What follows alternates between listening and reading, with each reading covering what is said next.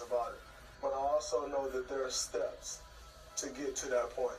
And if and when we get to that point, I want to annihilate.